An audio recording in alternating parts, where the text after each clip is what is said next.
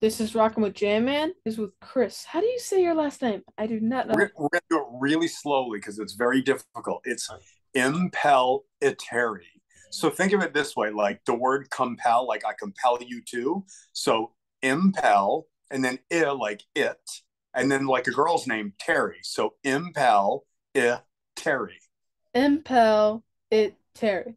Perfect. Okay. Perfect. You nailed it. Yeah. Yeah, it's like the longest, most difficult rock band name to say in the world. I guess we have that record. Yeah. hey, record. Um, how you doing, man? I'm doing good. We're actually working on a new record right now, even though we're promoting our anthology. How's life treating you? Um, it's treating us well, but it takes a lot of work. You know, when you're promoting like a new record, it's like you're doing interviews probably like six or seven hours a day, but at the same time, you're trying to do a record, which usually requires us to be in the studio for like 10 or 12 hours a day. So there's a lot of conflicts, but it's fun. And, you know, we always love making records. So, you know, the studio always treats us very well. oh, doggy. Oh no. Um, how did you convince everyone to name the band after you? Uh, well, good question. Um, I think it was our manager at the time when we did our very first album. You know, there was a history, especially with rock bands in Los Angeles in the late 80s. Um, you'd get a really amazing band together, right? Like great drummer, bass player, singer. And then what happened often, if you hadn't landed a major record deal yet, one of your guys would always get stolen by a bigger band who got a like a major contract with a big label. And so, you know, that happened to us like two times. We lost the drummer, we lost a really cool bass player. And, you know, at that point, we started to build a following, like people that would come see our band. And, you know, every time we lost somebody, it seemed like it gave the band less credibility. Like, wait a minute, those guys are gone, so you can't keep calling it this name. So someone suggested use my last name because I was a big fan of bands like Van Halen, right? And I was young, and I was like, okay, that's cool. Sounds fun to me. Didn't I didn't think about how difficult the name was to say, um, but that's how it how it happened. That's crazy, man. Yeah. Yeah. I guess you uh could have not just named the the band Rock after Rob. That would have been a better name. I told someone the other day we should have called the band In Rock. And you know what's funny? Um, so our singer Rob Rock, that's his real birth name. People think it's like a stage name. That's actually his birth name, which is really funny. seriously? Yeah, that's his real name. Wow. Yep, it's Robert Al- Robert Allen Rock. Hey, uh, have you guys ever worked with Rob's nephew, kid? Um, are we talking about like Kid Rock? no, we haven't. Maybe we should. What happened with Rob, uh, where you replaced him with uh, Graham Bonnet? so when we did our stand in line record, it was actually our second record in 1988. Um, kind of like this is how the, the story happened. Um, we had released our first album. It was just called the Impellitteri Black EP. And we started to get a lot of popularity, especially in places like Europe and Japan.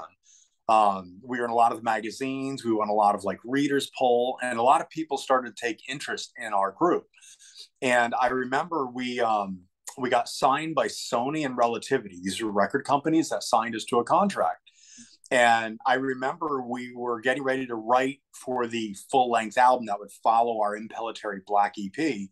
And Rob, um, he decided that he wanted to go in a different direction. So he went to work with a, a really famous music producer named Dieter Dierks, who was out of Germany. And Dieter had produced like rock bands like the Scorpions. And so he left the band. And at that point, I was in trouble.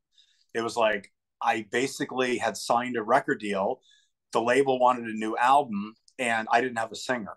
So, you know, I remember years earlier, Graham Bonnet um, had a band called Alcatraz. It was after his band Rainbow and it was really popular. And you know, they had called and asked if I'd be interested in replacing their guitar player at the time, was a guy named Yngwie Malmsteen.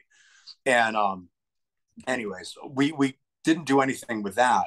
But over the years, Graham Bonnet and I stayed friends, and we crossed paths. And he said, "Hey, what are you doing?" And I said, "Well, I just lost my singer, so I don't know what I'm doing." And somehow we you know, we decided let's try to work together, and we did. And the first song we actually wrote was a song called "Stand in Line." Um, and we did that record with Graham, which was really more of a tribute to Graham Bonnet. It really, it didn't almost feel like an Impellitteri record because Impellitteri is much more of a heavy metal band. Stand in Line was much more of a rock album that was kind of designed to sound like Rainbow, which was Graham's previous band. Um, but anyways, the record did really well. You know, we ended up on MTV, which at that time was this really big TV show that played music all day long and, you know, played a lot of famous bands. So that gave us a lot of notoriety and a lot of success. And then in Japan, we got really lucky and got really famous. Um, so that's kind of what happened and how we ended up Graham Bonnet. Was this during Graham's Alcatraz days? It was actually after. So Graham Bonnet, I think, did three records with Alcatraz. And it was around the second or third record that he was doing for Alcatraz. Rob Rock and I was were, were doing the Impellitteri Black EP. Um, EP just stands for extended play. So instead of being a full length album, I think it had like four or five songs on it. Um, and so when Graham finished Alcatraz, which is about, I think, after his third record, that's when it was my time to do my next record, which became Stand in Line. Um, what was it like working with him? With Graham Bonnet? Yes. Well, so Graham Bonnet was a legendary heavy metal singer. He had played with a lot of famous guitar players. Like, I'm not sure who you're familiar with, but so he was in a band Rainbow, which had this guitar player named Ritchie Blackmore. And Ritchie Blackmore was really famous. He influenced a lot of guitar players, including me. And then after Ritchie Blackmore, Graham Bonnet um, worked with a guitar player named Michael Schenker. And Michael Schenker was out of Germany. He was also a really well known guitar player. And then Graham, after Michael Schenker group, he then did um, his band, which was it was Graham's own band. It was called Alcatraz, and that's where they brought in this kid Yngwie Malmsteen, who was an amazing player. He became an instant guitar hero. Um, and then after Yngwie, there was a guy named Steve Vai, who's a very popular guitar player as well. And then when Graham left Alcatraz and he joined Impellitteri, then there was me. So, you know, Graham has kind of had a um, a run with a lot of guitar players, but he's an amazing, talented singer. And why did you kick him out and let him uh, and let Rob back? Well, we really didn't kick Graham out. What was happening was okay. So we had played um, some shows in Japan with Graham, and we were playing. I think our first show we played a place called the Giant Stadium in Tokyo, um, and I think it was like sixty-five thousand people. It was a big rock festival that we did, and there were other famous artists like Billy Joel and all those people. So we played some concerts there um, the audiences really seemed to like our band a lot. So we came back to America and we started playing some shows. We played um, the last show we did with Graham Bonnet was the San Jose Civic Auditorium, was up near San Francisco. It was a very kind of well-known arena, and it was Impellitteri and a band called Pat Travers Band, and it was totally sold out. It was an amazing show. We played great, and everything went well. And then Graham went went back to Australia to be with his wife and family. And at that time, he was having he was having some fights, I think, with the wife. So um, I got a call from our management company, and they said, "Hey, we have really good news." And we were like, "What?" He said, "You guys have the end of the Iron Maiden tour." So we were going to go out and play with the band Iron Maiden, um, starting in Florida, I believe, and do like a couple months with them. And we got a call from Graham saying that he wasn't going to come back because he was trying to save his marriage. And so, really, it was Graham that left. We didn't fire and so at that point, we had to get, you know, another singer. And thank God Rob Rock at this time was now ready to come back. So that's how the whole story progressed. Was Rob nervous after this because he knew that you could replace him if he didn't listen to your commands? No, because I've never been the boss, you know, to be honest. So although the band is called Impellitteri, it's a band. It's never been the Chris Impellitteri ego solo guitar player show. I've never been that guy and I've never wanted to be. Um, Impellitteri are usually four or five band members and we contribute equally. Now, I do write a lot of the music and Rob writes all the lyrics and a vocal melody, but our bass player writes all his own bass parts. The same thing with our drummers. So Rob was never fearful because we needed him. You know, it's like we needed Rob as much as he needed us. Right. So it's really an equal contribution you know no one one guy can replace the other but which you ended up doing and bringing Graham back Yeah, we did. But remember, that was because Rob had quit to go work with Dieter Dirk. So if Robert didn't quit, Rob certainly would have done the next record that Graham did it was just fate that Rob wanted to follow his heart, and he just he thought this other thing that Dieter was doing might be a little bit bigger commercially. And at the time, some of the music Rob was listening to it might have been more um, vocally oriented, maybe even a little bit more popular than what we were doing with Impellitteri, because we've always been almost on the border of thrash with you know with melody. So who was better, Rob or Graham? They're both amazing singers. You know, a good way to to do this is if you listen to Rob Rock, listen to like, okay, so right now we're promoting our new anthology album. The first two songs, the first song is called Victim of the System, and that's Rob Rock singing. Song number two on the first disc of the anthology is a song called Perfect Crime. That's Graham Bonnet. And it's interesting, you know, me and James, our bass player and our drummer, you know, we kind of bring all the music. We write all the music, and then we have Rob or Graham sing over it and if you listen to Victim of the System or Perfect Crime or any of the songs that Rob sing versus Graham, it's the same band writing the same music, but it's two completely different sounding vocalists and lyricists that make this amazing contribution that actually changes the sound of the band. So, but I actually love both of them very much. They're both great, you know. Um, if you had to pick one as the final singer, who are you keeping? The final singer, well, it would it would have to be Rob Rock. I mean, Rob Rock has done the majority of the albums. He was always he was really like the the beginning of Impellitteri was with Rob, and all the records around the ones that we did with Graham were also Rob. We actually only did two records with Graham Bonnet. We did Stand in Line, and then we did System X. And, and by the way, when I say this, when I'm choosing Rob, remember I still love Graham. I think Graham is one of the greatest rock vocalists in history. I mean, he replaced Ronnie James Dio in in Rainbow. I mean, Ronnie James Dio was this legendary, amazing, you know, heavy metal vocalist, and Graham replaced Ronnie. So that tells you how amazing, you know, Graham is. And he really is. He's a very talented singer.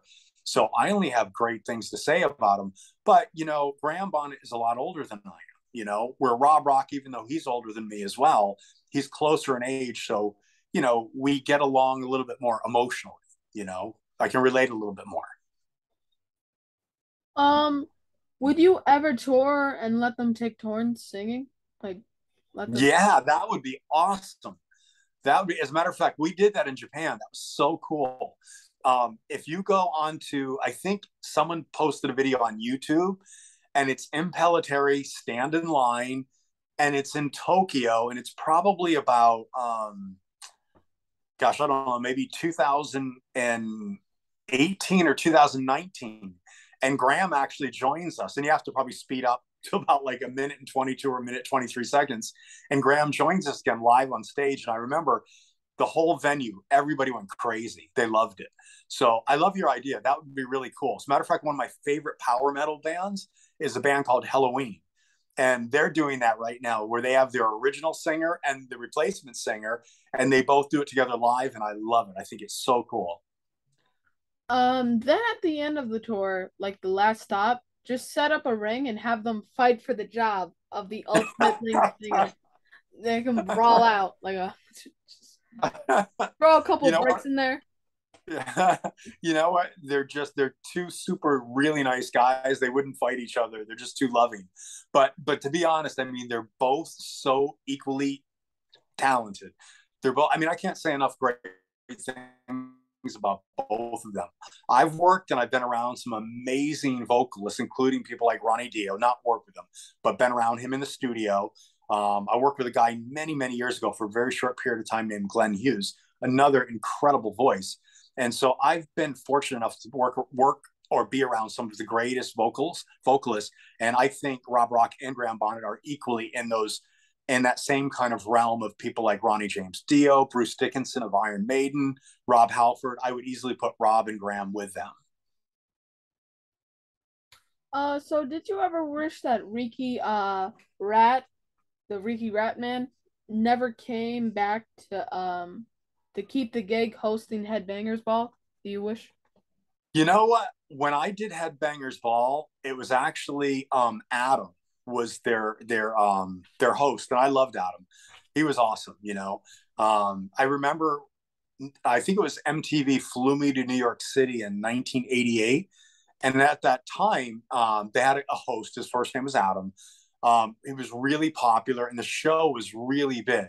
And it played every every kind of metal band, like Iron Maiden, Judas Priest. It would even play Impellitteri, um, played bands like Motley Crue and all of that stuff, and Guns N' Roses. And it was a really cool show. And then um, I think uh, Riki, who I, I didn't know, I know he had a, a, club in Los Angeles called the Cat House, I believe. So he was really in with a lot of bands. And, but, you know, I, I, I really didn't know the guy. So, you know, I, I didn't, to be honest, I really didn't watch a lot of the shows after that. So, you know, I'm a little bit out of touch. Uh, what can we expect on this new album, Wake the Beast? Um, pure high energetic heavy metal you know, it's kind of like we're slaying the beast with our music. Um, it's basically about 20 something years of Impellitteri music. It's kind of our fan favorites. And the reason we're releasing this for in America and Europe. So for many years, we were under contract where we couldn't release our music outside of specific countries, right? Because the record companies own the rights. So recently we attained those rights and now we can finally release everything worldwide.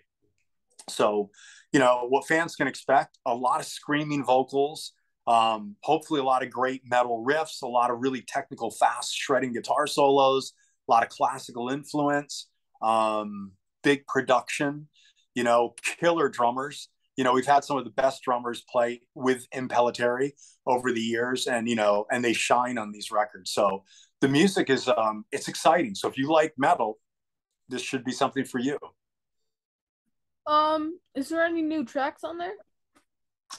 No, no new songs. Only the stuff that we release solely, I think, in Japan and a few other continental countries in Europe, uh, meaning out of continental Europe.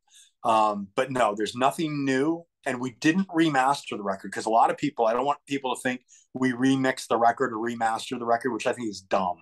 The reason we didn't do that is because we got it right the first time. We work with the best producers, engineers, mastering engineers.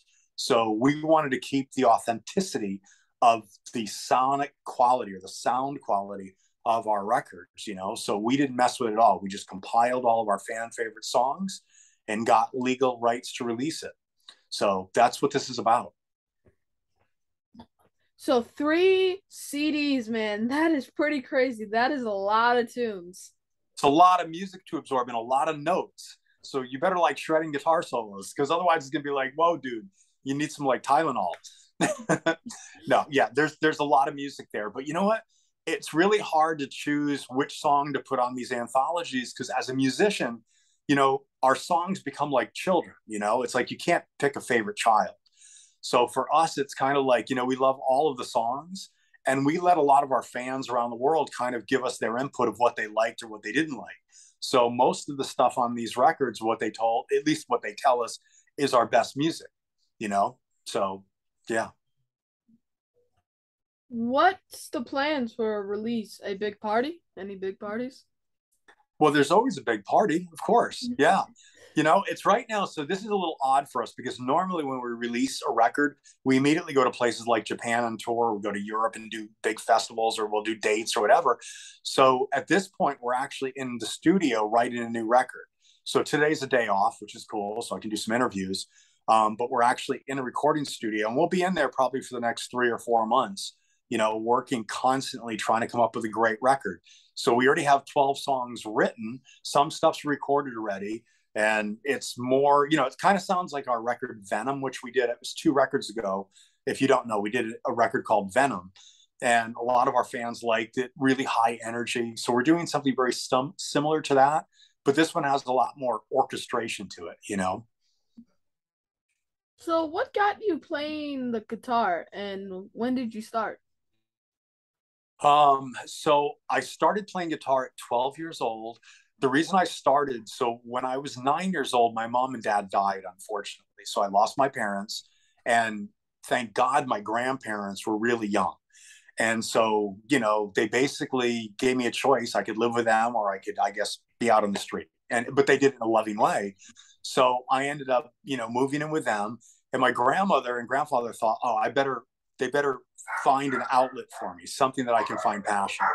Oh, sorry, one second. Um, so basically, they, um, I remember they took me to a music store, right? And they basically showed me these guitars. And I was like, I never forget it. There was like a black copy of a Gibson Les Paul and a Stratocaster on the wall. And I remember my grandmother said, choose one. And I was like, no way. And I remember I chose the black Les Paul Custom. It was actually made by a company called Cameo. And it was like, as soon as I touched it, I knew this was going to be part of my life. Right. And so then I started taking lessons. And when I say taking lessons, I took lessons for five or six years learning music theory. So you have to learn all the scales, time signatures, right? You had to learn all the, you know, the all you have to do all the classical training, all of that stuff. Um, and then um, I don't know. I started listening to hard rock and heavy metal music, and then I got addicted to the point I just I never put it down. The guitar literally became a part of me. Please don't yell at your dog, please. I love my dogs. Not yell at them. They're four. It's actually four of them. They're little ones. um, but yeah, that's really cool. So your grandparents were like, check this out, and you should try to do this. Like, yeah, you know, originally I think I wanted to play drums, but my grandmother's like, no way, because she knew I'd be loud. I, I was always a loud, unruly child. What people don't know, so remember I told you the band is Impellitteri. The first three letters, it's I is in ice, M is in Mary, P is in Paul, which stands for imp. Um, what imp stands for, I, I think it's um, I don't know if it's in mythology or whatever, but it's actually an unruly child. Yeah, yeah, it, it, it's it's like a they're like little demons or something. Yeah, exactly. And that, and Rob Rock, that's what he says I am, like this unruly child, you know. So the reality is, you know, the whole guitar playing thing, though, it did start with that, and you know, I will always love my grandparents, you know, because they encouraged me to play guitar. And then it wasn't until you know after I saw the band Kiss and Van Halen, then I knew that's what I wanted to do with my life. So that's how it all began. What countries are you most famous? Which countries are you most famous? Um, well, certainly Japan. You know, and, and you know, I don't like to use. I, I don't. I mean, when you say famous, have to be careful, right? So we're a heavy metal band, but you know who Metallica is, but you probably don't know who Impellitteri is, right? Yeah. So the reality is, we do have. I like to call them friends and family around the world that really love our band and have supported us. So there are places where we can go. Like we just played um, about a year before the pandemic started. We went and we played a place in Korea. It was called the Busan Rock Festival, and it was it was our headlining show. So we headlined, and we played, and about thirty thousand people came to our concert to see us. So we go to certain places in the world and we play really big concerts, and we have a lot of fans we go to other places in the world and they don't know who we are. So, you know, the cool thing about being in our band, every day is an adventure and we're always trying to see if we can grow our audience, right? But but the countries, it's always been places like Japan, um, obviously Korea. Um, we played Barcelona Rock Fest in Spain, which I think Iron Maiden headlined that show. And um, we had a lot of fans there. I think we played in front of like 20,000 or 25,000 people. We played in Germany at the big festivals, a lot of fans there. Um, a lot of areas in Europe, very popular. In America, you know, we haven't done a lot here because they really, when I say they, the music industry really haven't embraced us. As a matter of fact, in many ways, we're kind of like the, we're, we're kind of like, I, I almost feel like sometimes we're blacks, blacklisted, right? Like, you know, I, I don't know what it is. Like they just hate us you know, but in Europe and Japan and those places, they seem to love us. So, you know, that it's it's a hard question to say where exactly are we the most popular. I would definitely say Japan is definitely probably the first place. I mean, it's crazy. Like in Japan, you're like one of the most famous artists. Like that, they're like love you and everything. But like if you went to America, you can go to Walmart and Walmart, and nobody would care. Nobody would like. yeah, it's true. You know, I mean, look, there if we do play concerts in America, and occasionally we will, we'll do shows or whatever, a lot of people come and see us. So we know we have a lot of fans in America. The challenge is how to reach them because you have a lot of like there's a lot of um, great heavy metal um, like websites or radio stations. Um, but a lot of them they ignore us, you know, and it's okay. I mean, I get it. If they don't like us, it's okay. We don't want to force them. But in Japan, yeah, they put us on covers of magazines. We're on their really popular, famous TV shows, and ra- they play our music on the radio. And you know, in certain places in Europe, the same thing. Um, in America, it's not like we're we're not trying. We are, you know, but you can't force the industry to love you. If it doesn't embrace you, then you just have to keep working slowly at it, and that's what we do every day. Um, you won several awards for the best rock guitarist. That is insane, man. That is crazy. Well, you know, I, I have won a couple of awards for that kind of stuff.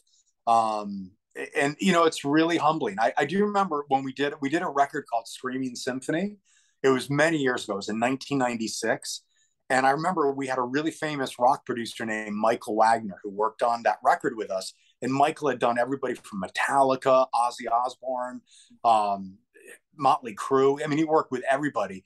And he really helped me capture my guitar tone on that record. So it sounded amazing. And I remember we did an instrumental called 17th Century Chicken Pickin', which is kind of like playing like Mozart or Vivaldi mixed with like heavy metal and country music, really weird. And I remember um, Burrn magazine and Burrn magazine in Japan, it's like the biggest heavy metal magazine. At one point, it was a really big metal magazine around the world.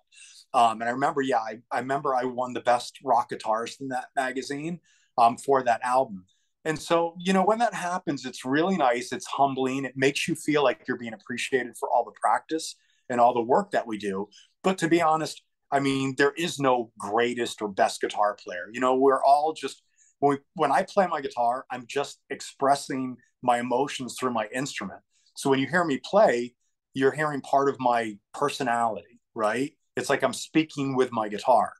And so I do what I do right? And other guitar players do what they do.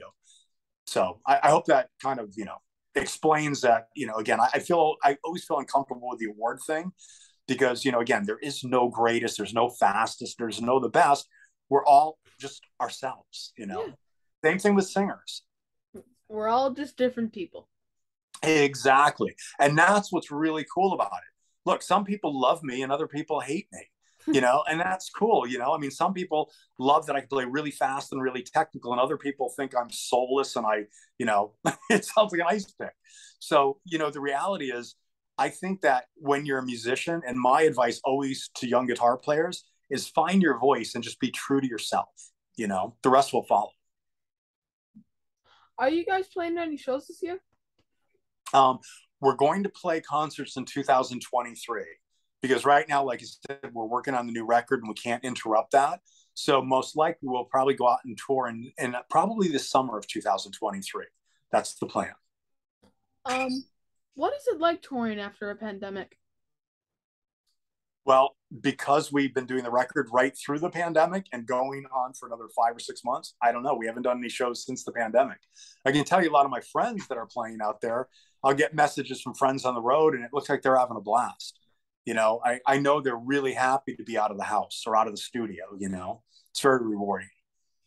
Um what is life like on the road for you? Well when we tour especially places like japan and europe um it's rewarding. It's fun. I actually like it. Um the traveling part you know it's an adventure so you have to treat it that way. It's not always easy especially when you have to get on an airplane and fly for 12 hours to japan or, or wherever um, but it is an adventure. The, the part that I love the most is getting on stage and playing in front of all of our fans. You know, that is it's it's rewarding, it's exciting, and that's why we do this. You know, so um, I don't know how to answer that. It's just it's hard work. Um, for some people, it can be very draining or, or very um, tiring because of the amount of travel. But for me, it's worth it because those two or three hours you get to play live, it's awesome. It's amazing walking up on stage. And, you know, we played in front of more than 30,000 people and we played for in front of 500 people, you know, and it's fun equally, you know. Um, what is on your rider? What's on your rider? What is on our rider? Let me see. Um, well, you know, the band Van Halen years ago, I think they they had on their rider, I think it was like no brown M and M's. So we do the opposite. No, I'm I'm just kidding. We basically allow all M and M's. Um, what do we have? Rob Rock, our singer, he always has to have orange juice, right? For me, it's always like ginger ale Coke and probably Stella or whatever the beer is of choice, right? Um, we always have great catering, you know, food. You know, for me, I'm really boring. Our guys like to eat. I'm a vegetarian, so for me, you know, I'll end up eating like you know, you know, broccoli and salad and weird stuff. The other guys they want to eat, you know, salami and you know, ham or whatever. You know, so we have a little bit of everything on that. And then what else do we have on our rider? Um, well, there's a lot of stuff. You know, we have our our demands, and they're they're sweet demands, but they're demands that we need, right? Like you know, no one in our dressing room before showtime, right? Because that's our private place where we can kind of practice, right? Make sure we're really good when we play live. Um, so yeah, those are the little things. Clean towels. um, do you guys have a ritual before you guys go on stage at all? Yeah, we always have to practice and, and try to do at least one or two songs live in the dressing room. So our drummer has like a practice kit, like a practice pad kit. So, you know, he'll do that. I've got my practice amp, right? My bass player, James Pulli, he's got his practice amp. And we've got it to the point where Rob can sing over us, you know. And so we work, you know, like a couple songs just to really get the energy going. And then once we feel like, oh, we're playing great backstage, then we know as soon as you know we get our road manager comes back and says, "All right, showtime," and they, you know, the flashlights go on and they walk us through the dark halls out into the arena or wherever we go, we know we're ready. So that's kind of the ritual.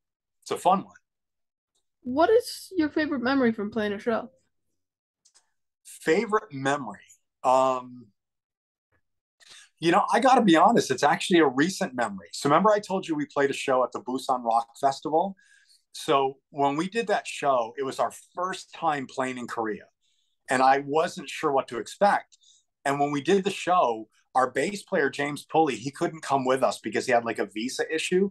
So my friend, a really well-known bass player, his name's Rudy Sarzo. He played with like Whitesnake and Ozzy, and he's in a band now called Quiet Riot.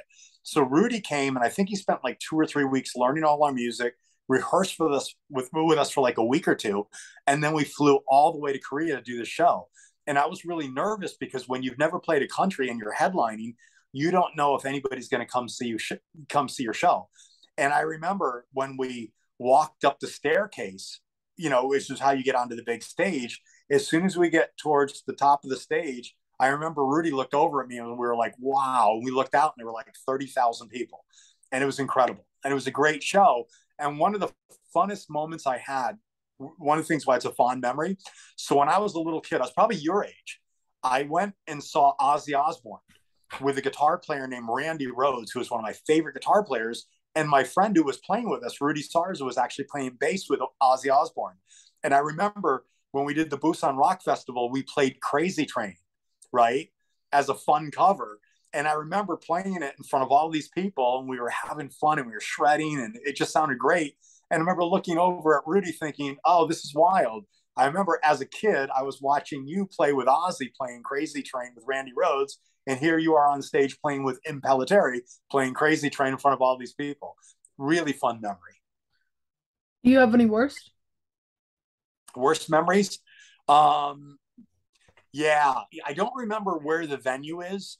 It was like, I remember I played a venue and um, I think I don't know if I didn't feel well. I remember I took like something, and I remember it was like it was something prescribed, right? Like something a doctor would give you.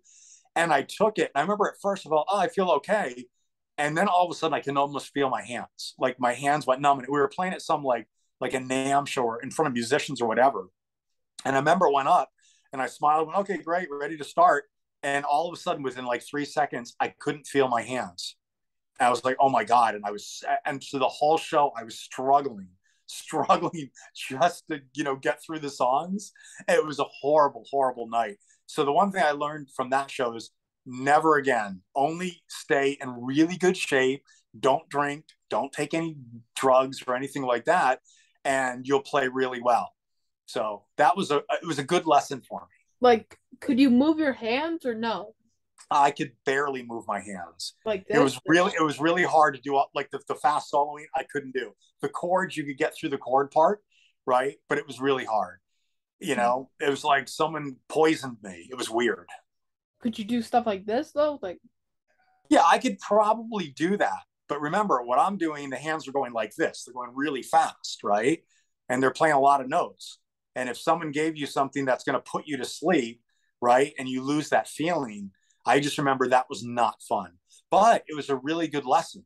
You know, once you play badly in front of people, and I did it probably a couple times in my career, you learn don't do stupid stuff like that. Be in, make sure you take care of yourself, make sure you stay healthy, right? Make sure you get a lot of sleep, make sure you practice, right? Because after those shows, I don't think I ever had a bad show again. I always played really well because I make sure to take care of myself and I practice a lot. What is uh uh what is next for you? What's next for us? Well, like I said, right now we're working on our new record. So the idea is to try to finish this record probably by the middle of 2023. Um, probably release it um, somewhere around that time, or hopefully in, no later than the summer of 2023, and then go on tour. So that's it. But right now, every day it's in a recording studio working on this new music. You know, it's hard because, you know, we're always trying to make the next record our best record, right? And it's always challenging because we've made some really good records, you know? And so every um every record that we we take on it becomes a challenge for us so right now we're just motivated to get through this and make the best possible music possible how do my followers follow you uh-oh so so our website if you can spell it it's impellitteri.net so i don't run it it's just the band website so again, it's just impellitteri.net. That's where people can find information on the band. They can even watch our music videos, right? We don't do a lot with social media, which I know I, I, our managers want to kill us for that. You know, I know there's like an Instagram page. I think it just says Chris Impellitteri official, but I don't even know if we have the official badge thing. So we just started doing stuff where we kind of actively go on that, in a Facebook thing. Um, but pretty much Impellitteri Net is the website. And then, of course, there are tons of music videos on things like YouTube where you can watch, like Impellitteri Venom would be a good music video for you to see if you've never seen the band, right? That would give you an idea of who we are or what we sound like. I see you guys have some cool merch. You guys are gonna have to hook me up and send me some of your shirts. School I like started, where you're going with that. And I need some fresh gear. School just started, man. I need fresh gear. It's my third week fresh gear. I love it. Wait minute. Now, when you said your third week, third week, what? Back in school now? Uh, yes. How's that going? Very good. I'm very smart and I'm doing very good. Only problem, only two problems. I have two problems now. Way too much homework. Just stop. And the sleeping schedule. They need to fix that. Honestly, I pray to God they fix that. hey, for whatever it's worth, I will tell you. So even though I'm a heavy metal rock guitar player, I actually have a master's degree. I have an MBA, which is a master in business administration. And to be honest, I was never, I didn't really like school when I went. You know, as a matter of fact, I barely graduated high school because I was in a rock band and we were playing like in clubs like five or six nights a week. So I barely made it out, but thank God I did. And then years after, when we were touring, there'd be time where we were down and I was like, okay, I play my guitar all day long, right? But I have a couple hours here and there where I could go do something. So I actually went to college. And then after I graduated my undergrad degree, then I went and got a master's degree just because I was curious, right? And also, I was big fans of people like Brian May, you know, the guitar player in Queen. Like, I think he has the doctorate in astrophysics, which I thought, wow, that's incredible. That's a lot of math. And you have to be like a mathematician, which, you know, again, is very challenging. And music remember music can be very mathematical so so either way hang in with school. School is actually very good. Yeah i know. School is good but when you're really smart sometimes and you overdo the questions it can get boring but it always very entertaining so you probably have a very high iq yes i do and you get bored very easily right so some of the other people are chart are challenged, right? Trying to learn the curriculum, and you basically already know it without trying. Yeah, it's really easy. Sometimes if I don't know what it is, the teacher just tells me, and I just have it locked. While some mm-hmm. other people have to take a while, and they have to do the lessons while I overdo it sometimes. I so so what do you do then in those instances? Um, I just do extra problems. She just says sometimes when we do extra problems on our, she says that we can do problems alone. This is during math class and stuff. Hmm. So mm-hmm. usually when I'm done, I just use other problems. I don't go ahead like really far ahead. And I use, I still kind of do uh, homework in my class, but it's very hard now because uh, you got to do your work because they always check. So it's kind of hard to do, but I always get it done.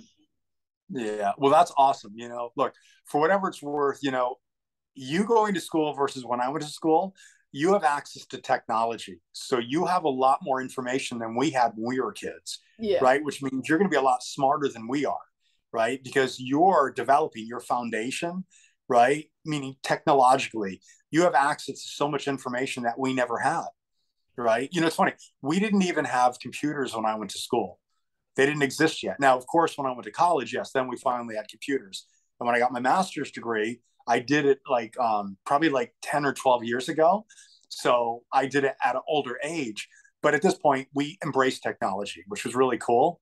So I could see the difference of, you know, what people my age when we went to grade school it was like versus your age, right? Which means you're going to be way smarter than us, which is good. The world needs people like you.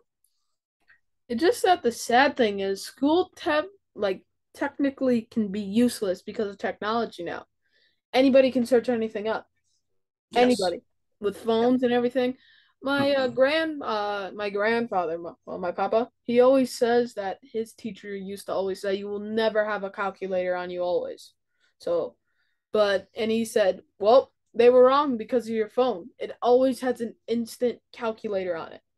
Well, you know what's funny? So when we had to do like um statistics, right in grad school.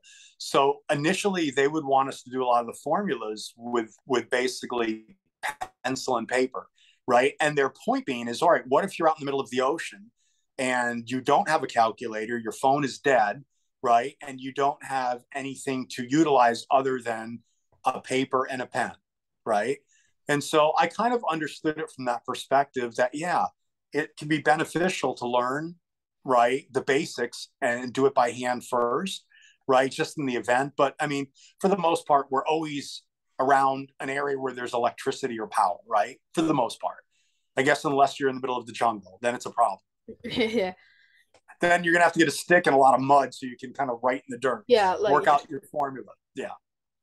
You're on death row. And it's time for a final meal. What's on the menu? On death row. Oh, okay, great. Apple turnovers, pizza, um, and Coke. You know, you can get a buffet, right? You know, like you can literally get any amount of food that you want. Yeah, that's oh, you know what? But hang on, you know, outside of you know, if I'm in death row, outside of you know, making sure I kiss my daughters, the wife, all that stuff. Um, can I have my guitar? No, no, you cannot have your guitar. Well, that doesn't work for me then. That sucks. You so all I get is a meal. I can't play my guitar while I'm eating.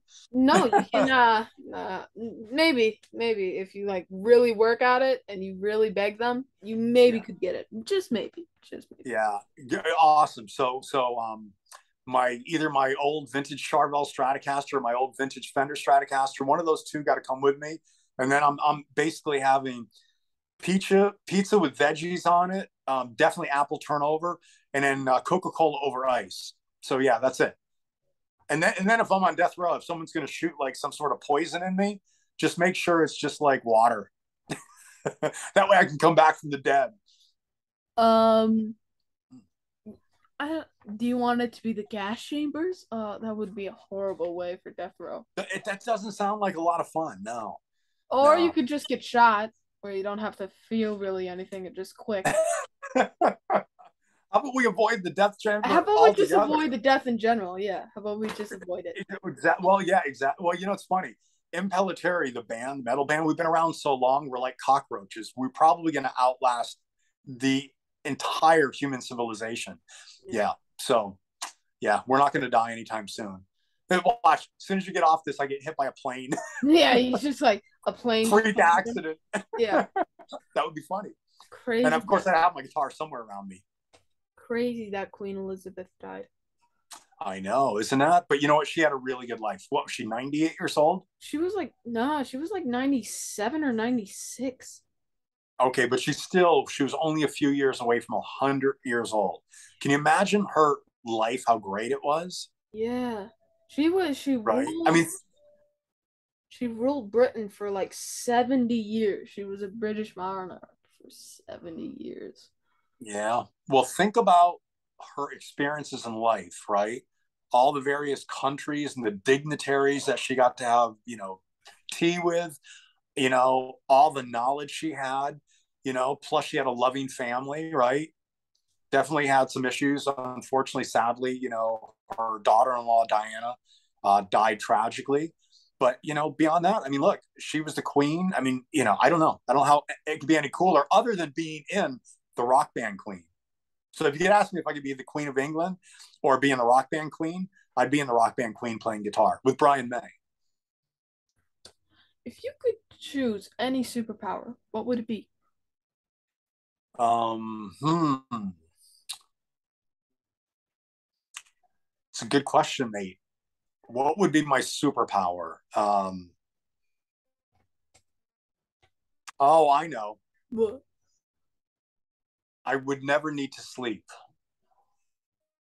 I would have the energy I have now when I'm in the studio in the beginning of the day or we first go on stage. The energy would be there all the time. So I could be like in two places at once and yeah. never burn out. That's an interesting superpower. It's like not really like a it is it's actually a really good superpower. It just doesn't fit in like the super wow. That really is a good superpower if you ask me. I, I think it is exactly just like pure energy 24 hours a day. So wait, but will you still sleep or you would never No, sleep? don't don't need to. Why? I can get a lot more I can get a lot more done. Yeah. I can make more records. I can play more concerts, right? Yeah.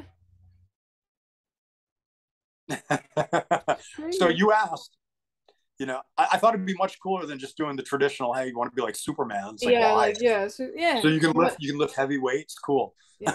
but that's really interesting. That really is. Nice. Um, I thought that was kind of a cool one. Yeah, it really is. I'm not saying that it was bad. Don't think. How about you? What's your? Let me ask. Let's flip this. Flip this coin. What's yours? All. Just that. Just that. All. nah, if I um this one's really difficult, actually. Um, the power of creation. The power of creation. I'm like um. Like like your god. Like no, I don't want to. I don't think of myself like that. Um, like Scarlet Witch, she has like reality nipple. Uh, um, sorry, I can't say the word manipulation. Sorry, sorry about that. Um, but something like that. Not like a god superpower, but like. Mm-hmm some of these people they get superpowers and their powers can just be crazy. But you want to create things with your superpower, right? Yes. Um, so here's the here's a really cool thing. So are, do you play an instrument? The drums. I'm a awesome. Okay. So have you ever created your own drum groove? Right. Yeah. Do certain rudiments, right? Yeah, certain fills or whatever. Create your own style. You are now creating something. It's just like us when we're in the studio or writing music or I'm writing a guitar solo. I'm creating something, right? Hopefully that's going to last forever. Same thing with you when you're playing drums. If you're playing something really cool, whether it's simple or it's really technical, you're creating something, you know, your inner soul is speaking through your playing through your your drums, right? Let's just say that you could choose any song written by any band and you can change that song where you were the one who wrote it and sung it. Uh well, you get what I mean. Um, mm. what song would it be and why? What song would it be and why? Any song and, and basically that I that I could say I wrote. Like they're and... like you get all the royalties and everything like that. Well, okay, but now you're thinking about money. I don't always think about that. No, I'm not thinking right? about the money. I'm just saying so, like everything. You own everything. I gotta be honest. I there's so many songs that I really, really love. One. Right. Um, so as far as like all right, so if we think about rock music, rock music, I think my favorite band always was Van Halen. The, the like the very first Van Halen record. The song that I love, my favorite song on that record was a song called "I'm the One." I always love that. It really influenced a lot of the stuff that I do, especially when I play solos. That and Spanish Fly, which was on the second Van Halen record. Um, but I also, when I think about songs that have really touched me, that are much more simplistic, I think there's a song called "Smoke on the Water" by a band called Deep Purple that Ritchie Blackmore, the guitar player, wrote. Remember I told yeah. you Graham's name, Ritchie Blackmore. yeah, yeah. Yes. Yep. Yep. I thought, what a great simple riff, right? I love that. But then I also love like you know um, the Four Seasons by Vivaldi. I would have loved to have written that or composed that. That would be a really cool one. So yeah, well, so you got you got that out of me. You got all right. So the Four Seasons, written by Vivaldi. I would have composed that, written it, played it all, and then um and then far as rock music would be like I'm the One on the first Van Halen record, Spanish Fly on the second Van Halen record, and then probably Smoke on the Water. So oh, you got actually a couple songs. dun, dun, dun. I love that song. I do. yeah, it's a great song. It's magical. Absolutely and it has an amazing simplistic but beautiful lyrical guitar solo. Yes. Even though i play all the really technical fast stuff i love solos like that. It's slow and just nice. Yeah absolutely. Well thank you for being on my show. Hope the next time we talk is at the backstage on one of your shows dude. It's been a pleasure speaking with you Oh, dude, absolutely. And hang on. Sorry, I did I, I didn't want to disappear, but this is Gizmo. Say hi to Gizmo. Hey, Gizmo, Gizmo. Gizmo. Gizmo's been hanging out, rocking out with you guys. He's been like, come on, Chris, talk more about metal. right? Yeah. He's a cool one. Oh, so yeah, hey, so Jam Man, thank you so much. Greatly appreciate you having us on your on your show. You are awesome. And remember, be cool, stay in school. Thank you, man. You have a nice night. All right. You too. Cheers. Yeah. Peace.